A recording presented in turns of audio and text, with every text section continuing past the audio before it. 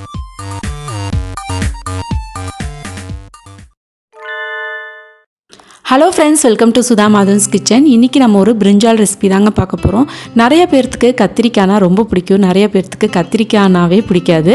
ஆனால் கத்திரிக்காய் வாங்கினா இனிமேல் நீங்கள் இப்படி பண்ணி பாருங்கள் வீட்டில் இருக்கிற எல்லாருமே ரொம்ப ரொம்ப ரொம்ப விரும்பி சாப்பிடுவாங்க.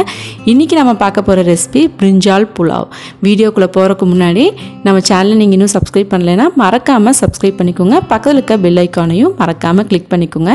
இப்போ வாங்க பிரிஞ்சால் புலாவ் எப்படி பண்ணுறதுன்னு பார்க்கலாம்.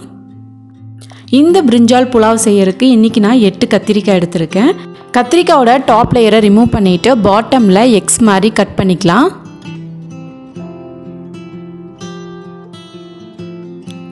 கத்திரிக்காயில் எப்போவுமே புழு இருக்கும் ஸோ செக் பண்ணிட்டு தான் குக் பண்ணணும்.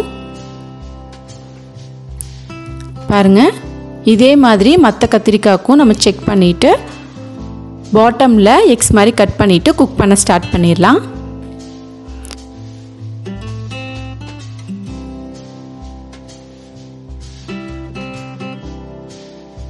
இன்றைக்கி பிரிஞ்சால் புலாவ் நான் குக்கரில் தான் பண்ண போகிறேன் first two table spoon key சேர்த்திக்கிறேன். டூ டேபிள் ஸ்பூன் ஆயில்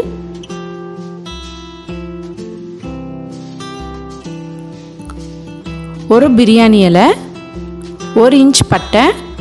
மூணு கிராம்பு. நாலு ஏலக்காய். இது கூட one and half sliced onion நான் சேர்த்திக்கிறேன். நல்லா ஃப்ரை ஆகட்டும். எப்போவுமே புலாவ் பிரியாணிக்கெலாம் ஆனியன் நல்லா ஃப்ரை ஆகணும். அதுக்கப்புறம் தான் மற்ற இன்க்ரீடியன்ஸ் நம்ம சேர்த்தணும். இது கூட பச்சை மிளகாய் ரெண்டு நான் சேர்த்திக்கிறேன்.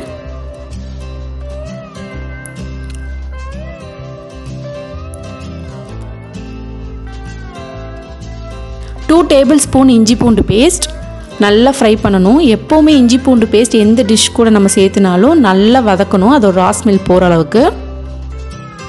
ஒன் டேபிள் ஸ்பூன் மிளகாய்த்தூள் ஒன் டேபிள் ஸ்பூன் மல்லித்தூள். ஹாஃப் டேபிள் ஸ்பூன் மஞ்சத்தூள். சேர்த்திட்டு நல்லா வதக்கிக்கலாம்.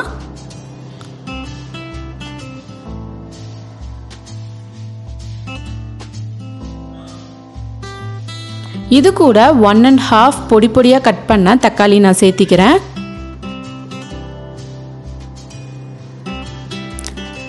தக்காளியோட ராஸ்மில் போகிற அளவுக்கு நல்லா வதக்கி விடணும். ஹாஃப் கப் புதினா ஹாஃப் கப் கொத்தமல்லி இலை.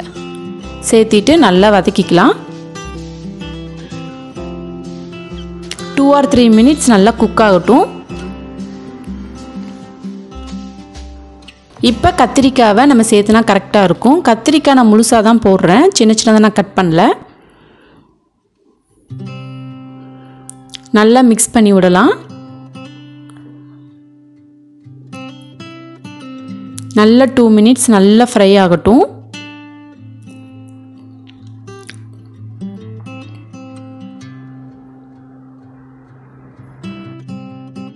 இப்போ கால் கப் தயிர் சேர்த்திக்கிறேன். நல்லா மசாலா கூட நல்லா மிக்ஸ் ஆகி கிரேவி வந்து நல்லா ட்ரை ஆகணும். அதுக்கப்புறமா நம்ம அரிசி சேர்த்திக்கலாம்.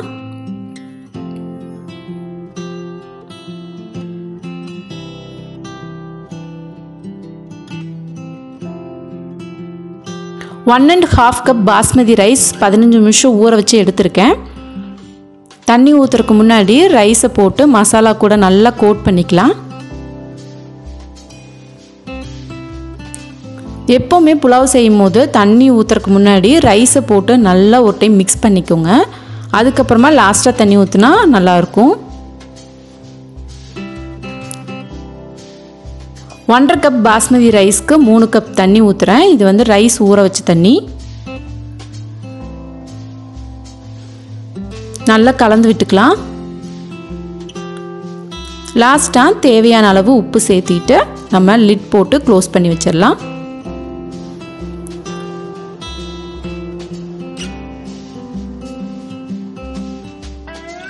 ஒரு விசில் வந்தால் போதும். ஒரு விசில் வர வரைக்கும் வெயிட் பண்ணலாம்.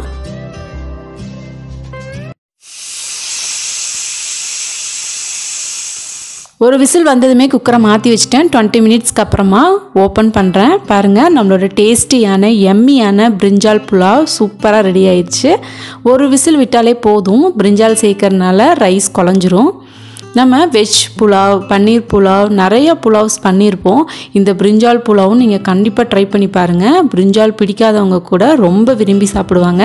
நீங்களும் கண்டிப்பாக உங்கள் வீட்டில் ட்ரை பண்ணி பாருங்கள் உங்களோட ஃபீட்பேக் என்னென்னு கமெண்ட் பாக்ஸில் மறக்காமல் ஷேர் பண்ணுங்கள் என்னோடய வீடியோ உங்களுக்கு பிடிச்சிருந்தா லைக் பண்ணுங்கள் ஷேர் பண்ணுங்கள் ஹெல்த்தியாக சாப்பிட்டு ஹாப்பியாக இருங்க. Thank you friends